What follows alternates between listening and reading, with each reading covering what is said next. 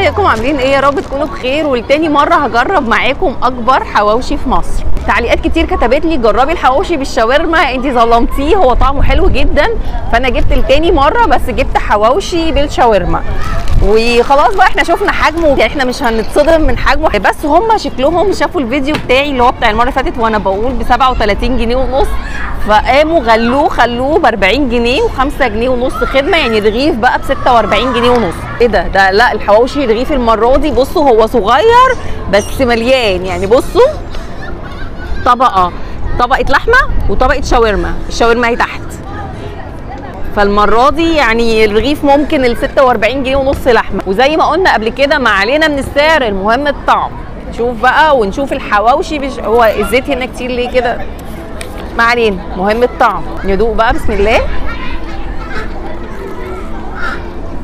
هو الميكس طعمه غريب. بس حلو. يعني أنا عجبني الشاورما مع الحواوشي وعايزة أقول لكم إن طعم الشاورما مغطي أصلا على الحواوشي. يعني أنا أركز قوي آه في حواوشي في طعم اللحمة بتاعت الحواوشي. لكن أكتر حاجة باينة طعم الشاورما. هو مزيت قوي قوي قوي. يعني وأنا باكل الزيت بيطلع منه وحتى باين أهو على الورقة بتاعته إن هو مليان زيت. بس الطعم جديد والعيش الحواوشي مع الشاورما عجبني.